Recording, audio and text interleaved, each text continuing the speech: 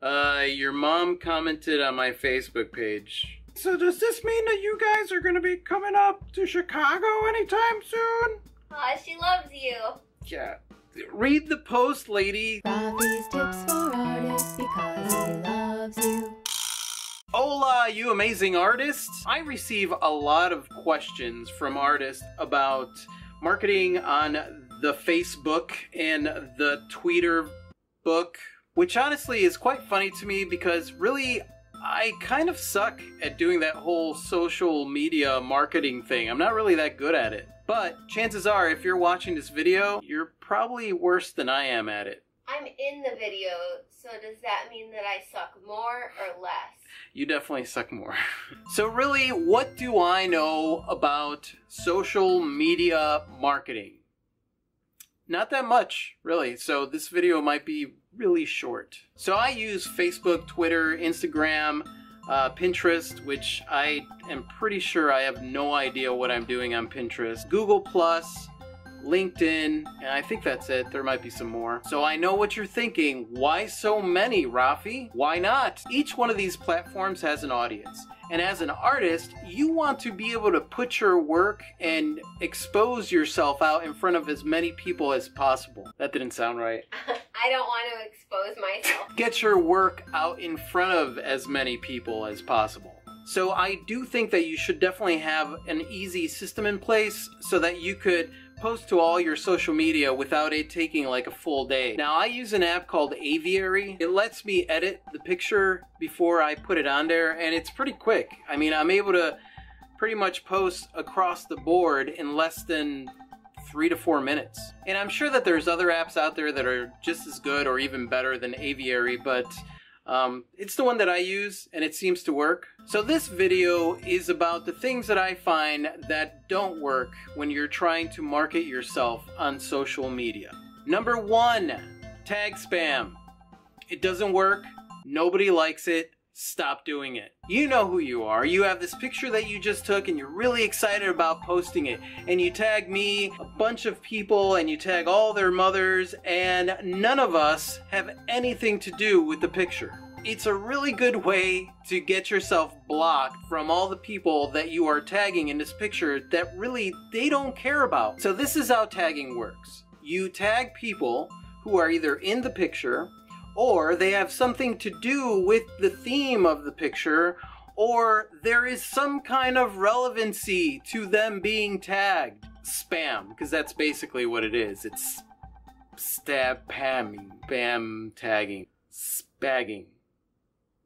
That's what it is. Spagging. Number two, the drunken angry rant. Sure, I get it. You went out, had a few drinks. There was that guy that said something that maybe at the time you didn't realize that it really ticked you off, but then later on you realize that it ticked you off, and you're like, I'm, you know, this is it. I'm not going to take this. I'm going to tell him, and I'm going to tell the entire world that they could go. Yep, it could get ugly real quick. Then the next morning, you find yourself having to do that walk of shame where you're like apologizing to people because, you know, you were acting like a dumbass the night before. Let me make something perfectly clear. I am not saying that you should not stand up for yourself. I definitely think that you should absolutely speak your mind and be completely honest. If you're being mean, hateful, you're bullying, you're name calling, you're being aggressive, that is not being honest. That's just pain and powerlessness pretending to be something else, pretending to be honesty. And all you're really doing is pouring a bunch of negativity out into the world. There are some friends of mine that I basically have their pages kind of blocked. They are ranting and raving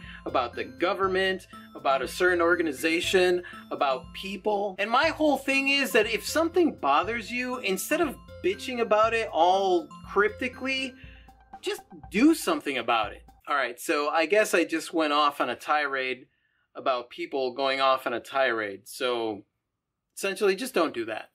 Don't don't do any of that.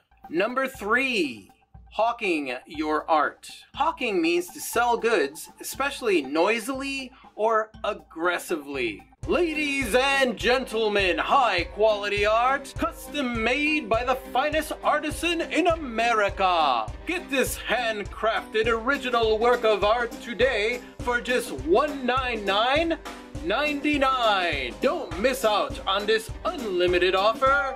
Order now. I see posts where people put a bunch of their artwork on the ground and they take a photograph and they say, Today only $20 a piece. And I'm like, man, that makes you look so desperate. And I mean, I guess that's fine. It's just, you know, the art is always so undervalued. That's not making a living. How are you going to make a living selling the. I, it just it doesn't make sense to me. I, I just if anything, any of those posts that I see where I see artists do this, they don't really get that much of a response. They, they might get like one or two people, and maybe that's what they're looking for. You know, they're not looking for a long term type thing, they're just looking for a quick hit up of like 20 or 40 bucks. If you're gonna sell some work, there are plenty of websites out there that are meant for artists to sell their work. And I think it's cool if you link that on Facebook and you tell people, like, oh, check out the new work that I have in my store, and somebody really likes it, they'll contact you to buy it. Number four, taking yourself seriously.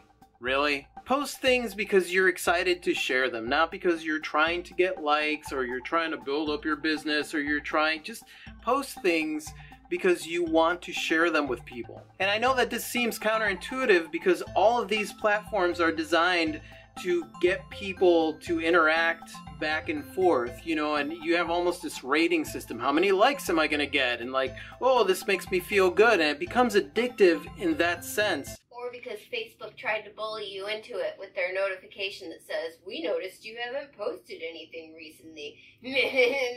At the end of the day, it's just another way that you can express yourself. You're already expressing yourself with your art or with your music or whatever it is look at social media in that way. It's like almost like a lifeline that connects out to the rest of the world, and it's your opportunity to express your opinions and and the things that you love. You know, me, I like expressing a message of positivity. You may want to express another message.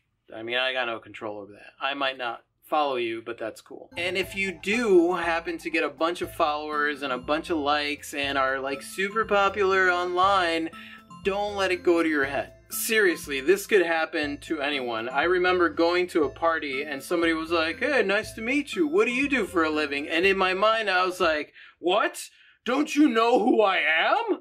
I am Rafi the artist. Luckily, I caught myself before I actually said that out loud because that would have been extremely embarrassing. You almost start to value yourself more because you are like, oh, I've got 1500 likes. Look at me. Oh, look at Klee. She only has like 700 likes. The problem is that that's such a false sense of security and a false sense of self-esteem. It explains why a celebrity would have a fit when they walk into their dressing room and they have green M&Ms instead of blue M&Ms and they're like, oh, this is not what I... What that tells me is that they're actually really insecure and that they need the people around them to respond to them in a certain way in order to make them feel better about themselves. So don't tag spam, don't angry rant, don't hawk your items, and uh, don't take yourself too seriously. Listen, you are an artist. You are one of the most divergent and creative thinkers on the planet. So just go on there and just add your own flair and do things and play around with it and see what works and what doesn't work. That's it. Just get creative with it and have fun. There you have it, my four tips on what not to do in social media marketing. Hopefully that was helpful to you. Also, if you have any questions for me pertaining to anything about art or even life in general, I will be more than happy to give you my opinion. You may not agree on the answer that I have, but that's why this is called Rafi's Tips for Artists. If you're an artist, make sure to add a link to your artwork to the question so I can check it out. And thank you so much for watching, you guys. You guys are absolutely freaking awesome. I totally adore you. And if you like this video and you want to see more, go ahead and click right over here to subscribe. And if you want to watch our last video, go ahead and click right over here. And that's it for tonight. Say goodbye, Klee. Good day. Adios.